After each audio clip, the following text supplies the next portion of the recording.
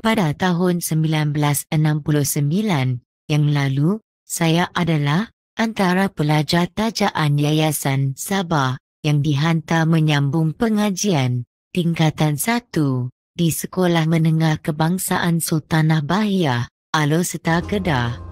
Setelah menamat persekolahan pada tahun 1973, inilah kali pertama tanggal 29 Jun 2009, saya bersama keluarga angkat telah berkesempatan mengunjungi sekolah kebanggaan kami.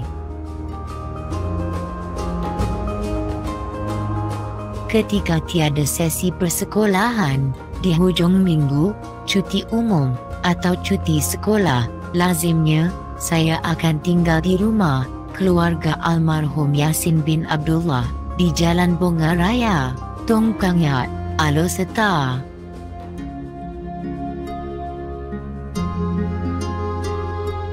Sebenarnya, dari sudut sejarah, Sekolah Menengah Kebangsaan Perempuan ditubuhkan pada 12 Januari 1964 yang dibangunkan berasaskan daripada kelas-kelas aliran Melayu di Sekolah Menengah Sultanah Asma, Alo Seta. Setelah Sekolah Menengah Kebangsaan Perempuan dibangunkan, maka pada 16 Julai 1969, sekolah ini dirasmikan oleh Kebawah Duri Yang Maha Mulia Tuanku Sultan Kedah dan menukarkan nama sekolah ini kepada Sekolah Menengah Kebangsaan Sultanah Bahia.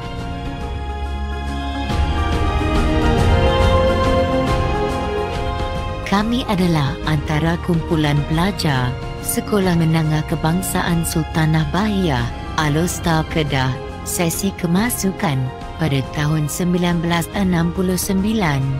Setelah sekian lama, tidak bertemu dengan rakan-rakan sekolah dan guru-guru sejak 1973 maka saya dan rakan sekolah telah mengadakan beberapa pertemuan dan kemudiannya mengadakan pertemuan dengan mantan guru-guru kami.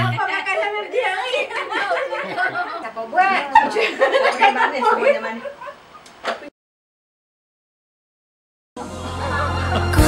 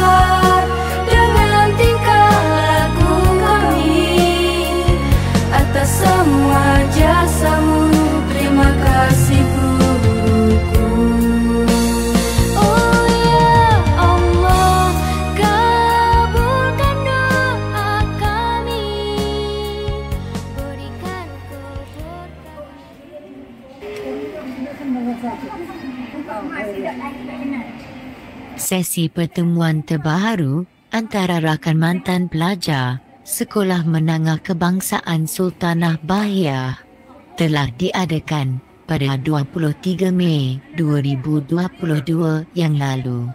Pertemuan seperti ini sungguh bermakna bagi kami kerana bukan sahaja dapat bersua muka dan saling bertanya khabar tetapi kami dapat bertemu dalam keadaan sihat walafiat.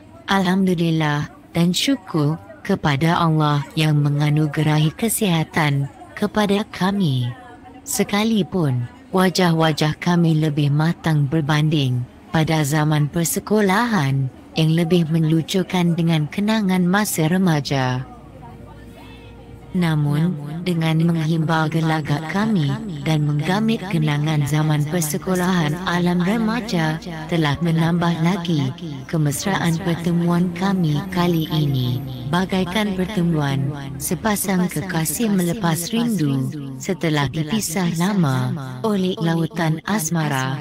Semoga setelah pertemuan dan perpisahan nanti akan mengukir lembaran-lembaran kenangan terindah buat rakan-rakan untuk dikenang sepanjang zaman selagi jiwa dikandung badan. Amin ya rabbal alamin.